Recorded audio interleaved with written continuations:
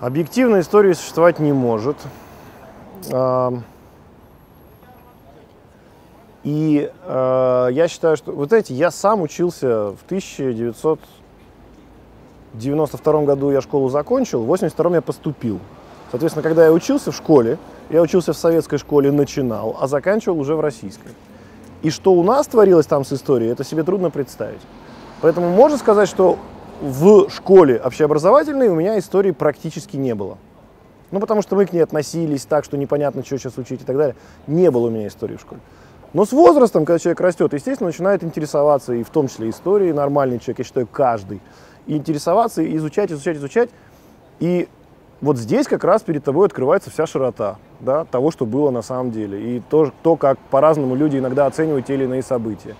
Поэтому мне кажется, что перегретая очень сильно является тема школьного образования истории. Почему? Потому что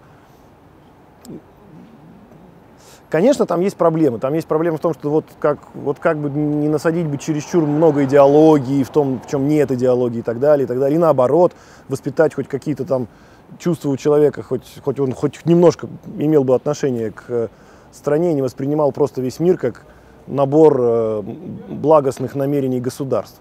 Но катастрофы не будет, если в школе ребенок неправильно выучит историю. Он растет дальше.